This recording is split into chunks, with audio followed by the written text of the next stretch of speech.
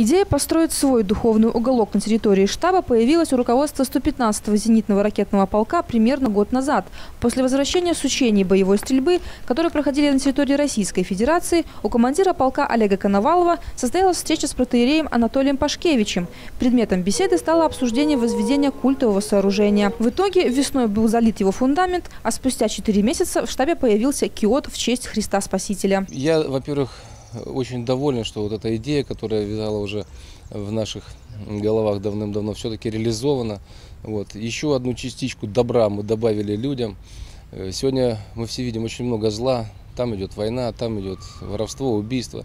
Вот. И человек, проходя просто мимо, обращая внимание хотя бы на секунду будет задумываться о высоком, о добром. Это, я считаю, что это хорошо. В торжественном открытии приняли участие военнослужащие, представители городской вертикали власти, а также те, кто пожертвовал средства на возведение Киота.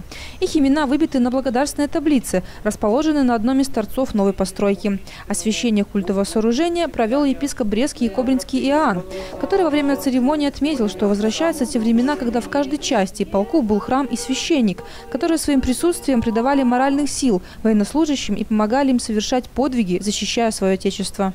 Очень часто мы можем видеть, например, в годы Первой мировой войны и до этого в разных войнах, когда священники поднимали людей с окоп и с крестом в руках, шли впереди всех ради, ради защиты Отечества и веры. Поэтому это прекрасно, что люди возвращаются к этим истокам, возвращаются тому, что есть нравственная, добрая духовная жизнь.